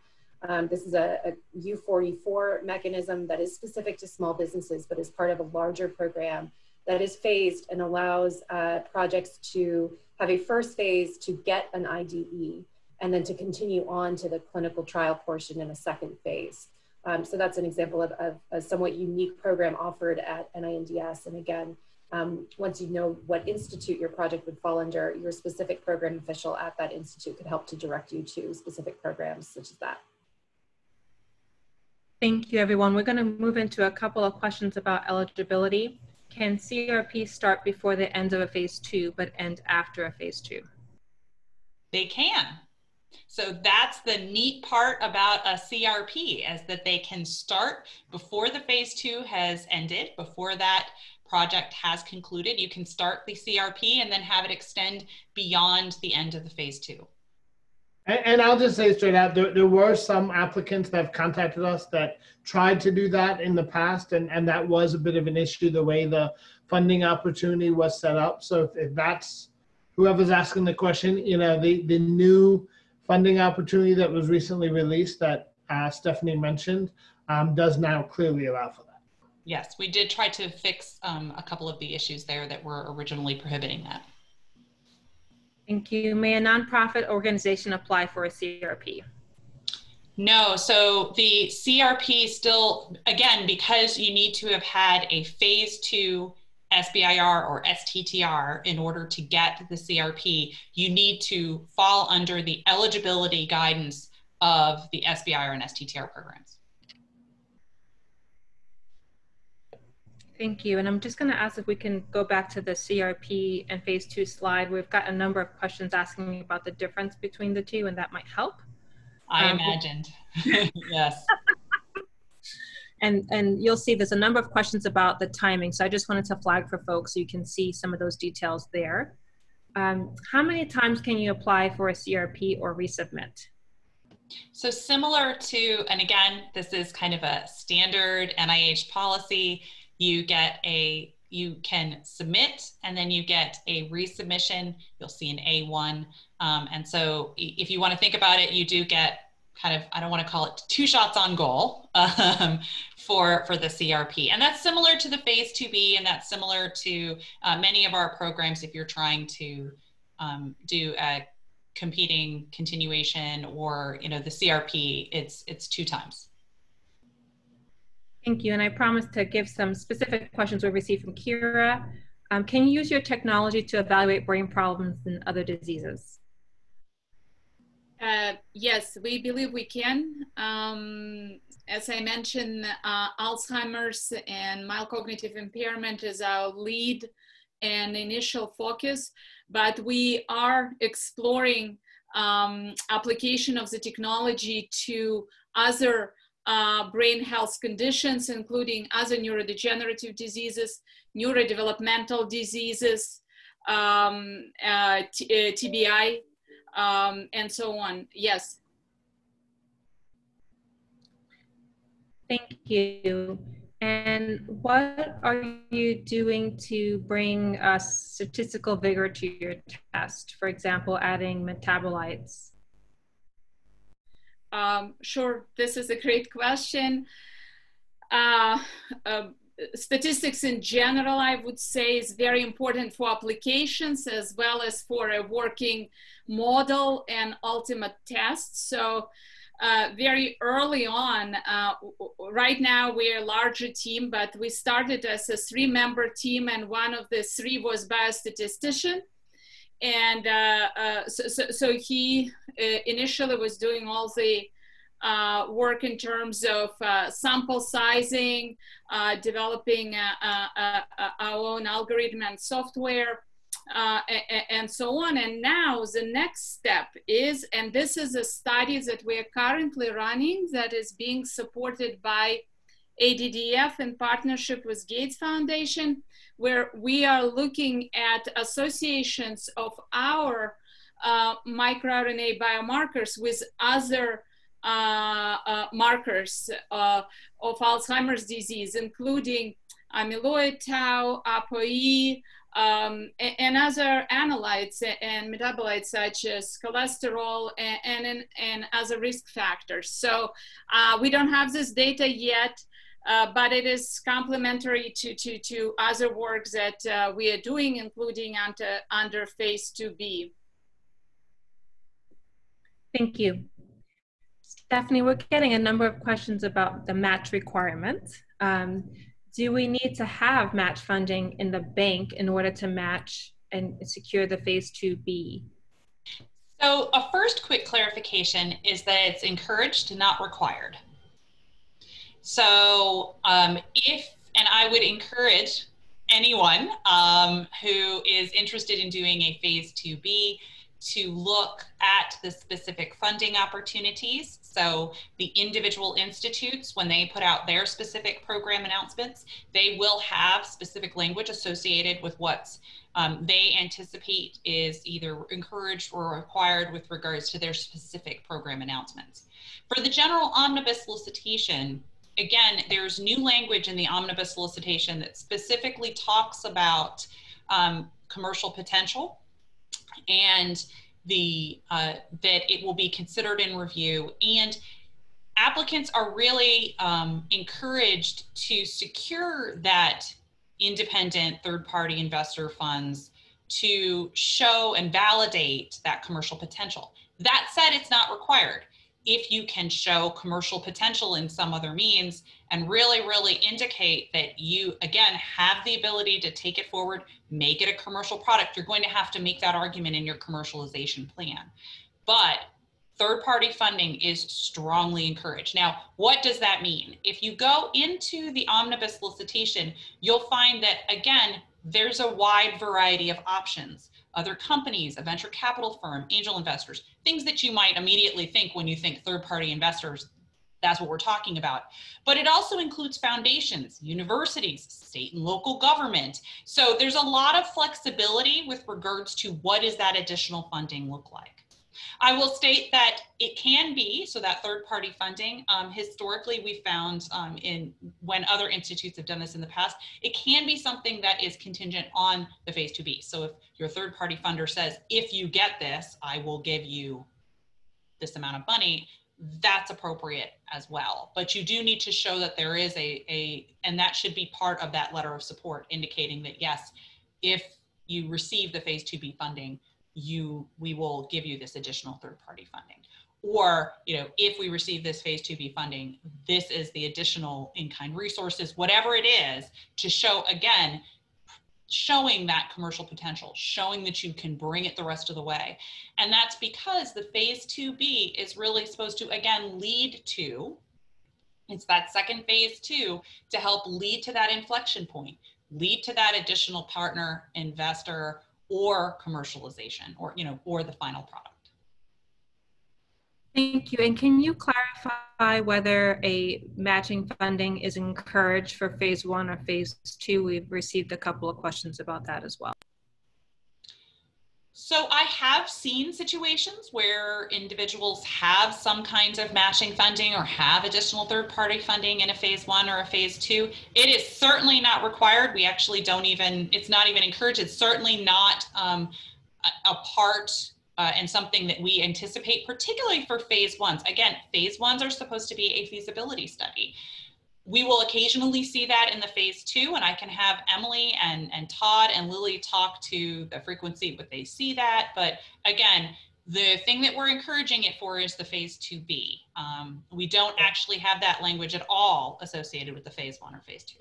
One thing I would encourage in phase one and phase two applications, if you don't have, you know, investor funding in on board, but letters of support from potential investors that say, you know, there's not enough data yet, we're not ready yet, but if the company can meet the milestones in this project, we would seriously consider investment. A letter like that can really help in terms of competitiveness and telling us that, you know, that this is this project is leading to a key value inflection point and that there are investors waiting for you to meet that value inflection point. So letters like that can really help uh, your competitiveness. Yeah, Thank I you.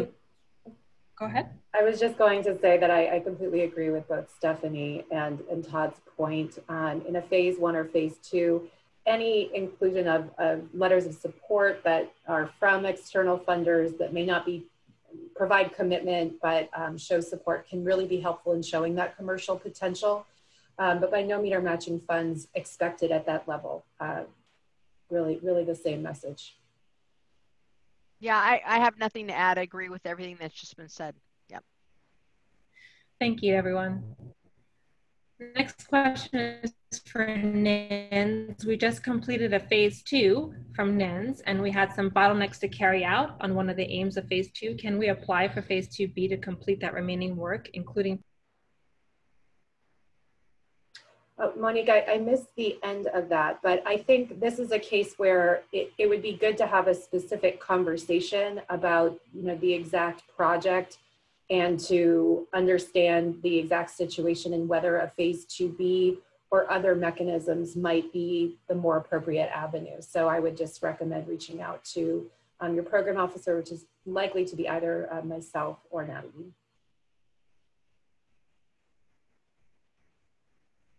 Thank you. A few questions on intellectual property. Do we need to have an approved patent to apply for an STTR? So the answer there is no. So this is some of the, and this I'm assuming you mean for a phase one STTR. Correct. And you don't need to have, um, there isn't a requirement around intellectual property. That said, we generally do encourage people to speak with uh, a patent attorney or speak with an advisor in that area. Again, I'm not an IP lawyer. Um, Todd, Emily, and Lili aren't IP lawyers unless they're hiding something from me. Um, so, you know, it's, it's usually important to, to talk with um, talk with someone. And if you're doing an STTR, likely you're connected with the university, so you can maybe talk through university tech transfer. Many of our phase one awardees will file a provisional before they apply. That's fairly common, but again, not required. Yeah, and, and Stephanie, I want to add that if you do get funded, please note that your abstract, or, or at least the their abstract that uh, for, for the application is going to get published on a public website, uh, NIH Reporter. So if there are things there that would lead somebody skilled in the art to make an assumption of what you're doing, um, you know, again, that's where talking to your a patent attorney and getting advice. But but just recognize that if you do get funded, uh, your award, uh, aspects of your award in terms of that abstract, that public abstract, will be made available for the world to see, which which constitutes a public disclosure um, for IP. It's a really important point, Lili. Thank you. Can technical assistance be used to fund patent work? So yes, I mean, technical assistance um, can be used to do some of the work associated with patenting. And again, I would encourage you to read the SF 424 instructions specifically associated with technical and business assistance, or as it's affectionately known, TABA. And, um, and, and that might help provide some additional information. Um, in addition, you can always reach out to your specific program officer and uh, and we will we are looking to um, hopefully include some additional question Q and A about uh, TABA on our website, hopefully shortly. Thank you. We'll move over to some questions about resources and programs. You mentioned earlier in this presentation that there are resources for minority, um, potentially for minority researchers and entrepreneurs. Can you please elaborate on what's available for this audience? Yeah, so the applicant assistance program is definitely a key. I know that um, both the NINDS and the NIA specifically participate in that. Um, Lili, I'm not sure if NCATS will be participating. We, we will be, yeah. Uh, starting um, after the next solicitation date, we are going to be participating. So yes, yeah, yeah. So uh, yeah, so all three of the institutes represented today will be will then be participating. Two of us are now. So um, we can send out the link to the uh, web page with applicant assistance program and a contact point in, in at NIA would be Stephanie Davis, um, who would be the contact point um, at the NIA for the applicant assistance program. If you're interested in applying, you can feel free to let her know. Um, that will be released once every submission date. In addition, if you've got a current SBIR or STTR award, we have specific supplements. We have a specific diversity supplement for SBIRs and STTRs to encourage um, the you know mentorship and training and entrepreneurship in um, of underrepresented groups and and basically bringing under individuals from underrepresented groups on board uh, to your company. And so I'd encourage you to take a look at that, and I will put um, the link to that program announcement in the chat shortly. Um, and I'd encourage you, if you've got an active award, take a look at that supplement. Yeah, and I, I will say for NIA, we set aside more funding for that than, uh, you know, applications that fit that we get. So, you know, we would love to see more diversity supplement applications. So, um, you know, but you need to submit those relatively early, and you you know you can't be submitted once you're in no cost extension, about to enter a no cost extension. So you want to think ahead with that type of thing. I'd echo that. NINDS is also very enthusiastic about supporting diversity supplements, and we very much encourage the community to take advantage of that program. Thank you. And I just wanted to note um, the NIH uh, SBIR sites uh, have information about the social economically disadvantaged businesses, women-owned businesses, as well as minorities. So um, if you're interested in learning more about um, those, please do visit the website. Uh, we received a few questions about that. Um, I also wanted to ask a question about mentorship and whether there's a mentorship program available. Yeah, so this would vary uh, uh across the ICs. One of the resources that is available through SEED and uh, will be shortly available at the NIH specifically too is the entrepreneurs in residence. And while these wouldn't be, you know, your specific mentor, they are business development experts that can be available if you have business development related questions. And I think is a is an excellent resource that uh, you are able to tap into. Um, Stephanie, I don't know if you want to say anything more there. I actually do. I mean, I, I so the the, it's interesting because that's a, a very general question and there's several different opportunities that are available.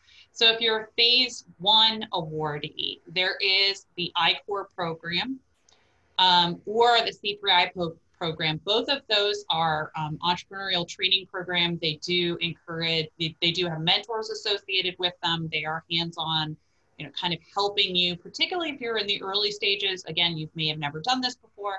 They can be very helpful in helping your company start out, helping start out within the SBIR and STTR programs. As Todd mentioned, we have entrepreneurs in residence. We also do have a regulatory expert on staff as well, um, because again, many of our uh, applicants and many of our awardees they this may be their first time through the regulatory process and it's not for the faint of heart. So it's important to kind of get things in order and, and know what's going to be needed. In addition um, we do have those different opportunities associated with supporting companies to attend different partnering events um, or different um, investment events and before we send someone to those events we provide pitch coaching and we provide mentoring to help you make the most of that event, to make sure that you're prepared to attend and go to that event. And so, again, it's kind of all of these different things. A little bit depends on your stage, depends on the specific situation, but we do try to have several touch points throughout. And again, some institutes have additional things that they offer, as, as Todd mentioned. So if you're wondering, look, I, I had this award with another institute, you know, another institute. Where should I go? What's available to me? Reach out and talk with your program officers. They'll know the different programs that are available, or you know, they'll know who to talk to to find all of your options. Also, talk to your institutes about what you, what is your needs. I mean, I can say, you know, our office is now two years old. We've been consistent, consistently thinking about how we could best help all Woody. So if if we knew that some sort of mentoring program was a key need, then that would push us more in, in that direction to think about such a program. And I did want to see if, so Kira is an example of a company that did just present at one of those investor conferences and was pitch coached and mentored by the entrepreneurs of residence. So I want to see if you wanted to add anything there. Yes, uh, um, I, I, can say that our experience was very positive. Uh, we went into the sessions with open mind and i think that was uh, uh, very helpful. We as i shared with all of you uh, we've been in this uh, uh, you know program and business since 2013 so we do have a, a, a presentation we do have executive summary and so on and so forth. But i think those sessions with entrepreneurs and residents at the NIH really help us improve the messaging. They worked with us on slightly different angles, like for example, elevator pitch, four minute pitch. Uh, we made a video uh, and we added, as a result of these sessions, we added a couple of key slides to our general presentation. So despite the fact that uh, our presentation has been evolving over the years and, uh, uh, and it, it has been looked at by various parties, those sessions really uh, added values. So, so and then um, yeah, through, through, through, that program, we also participated in, in uh, RESI, which uh, was a very productive uh, conference for us. Thank you, everyone. Um, I'm going to move over to uh, some COVID-related questions. Can you speak to the effect of uh, COVID on funding deadlines and do you expect any change in SBIR funding due to the COVID economy? Are pay lines changing? So I would encourage anyone who has specific questions um, about the about COVID and COVID-19. There's a specific website for NIH applicants and recipients um, of, of SBIR and, and uh, of any NIH grants and applications and awards that is available on the website. And I'm going to put that um, in the link shortly when I'm done speaking. So that details any announcements with regards to, you know, any changes um, related to COVID-19.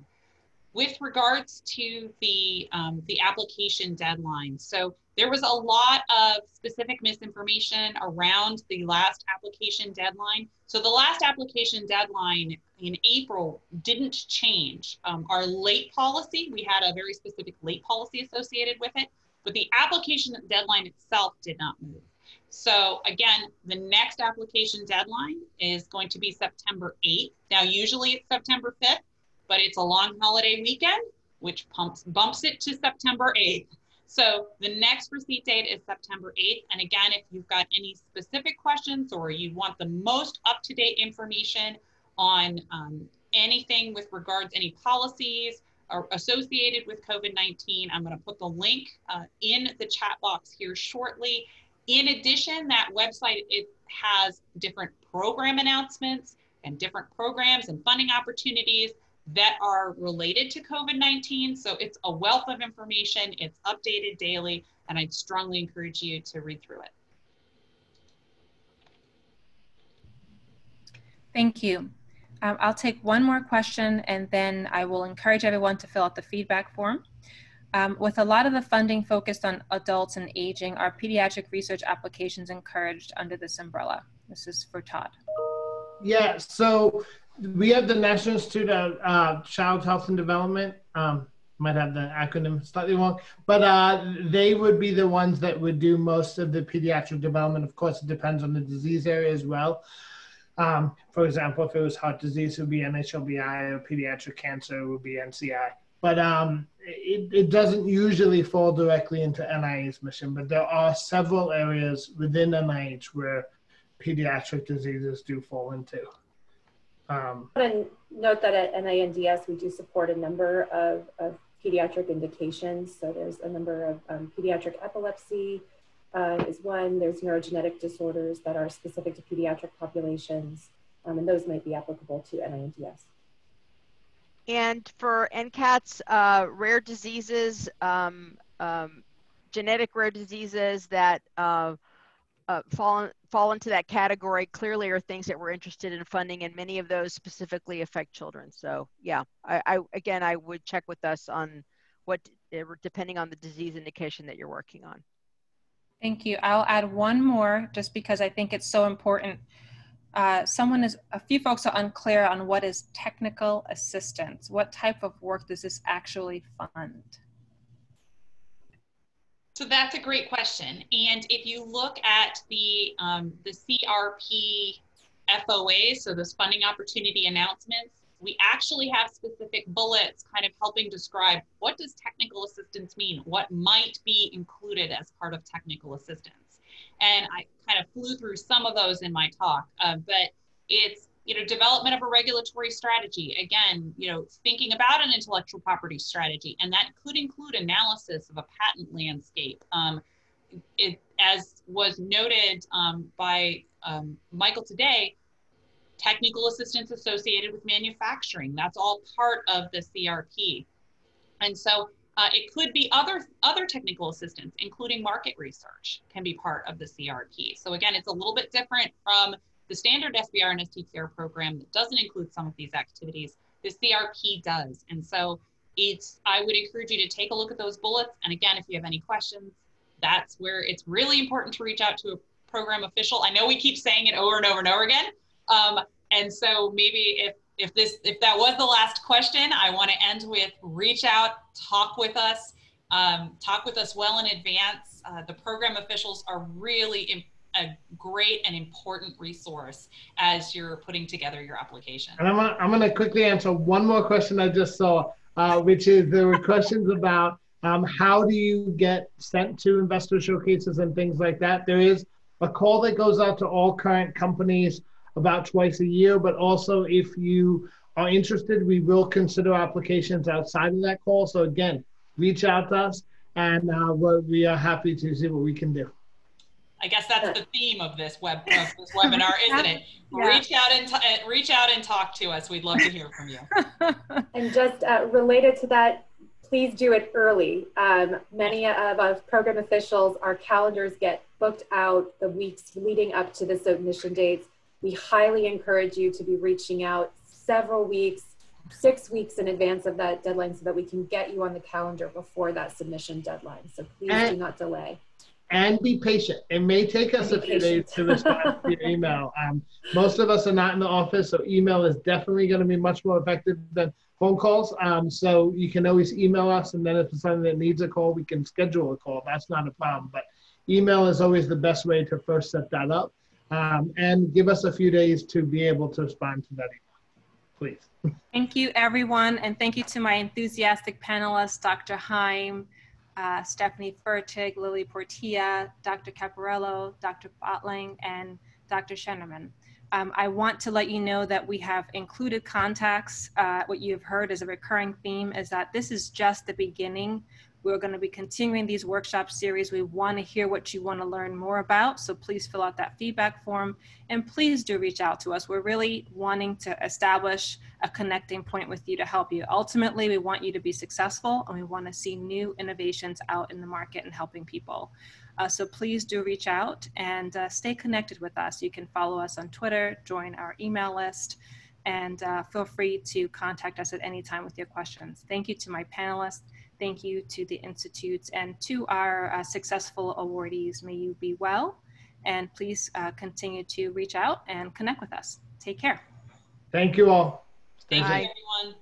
Thank you. Thank you.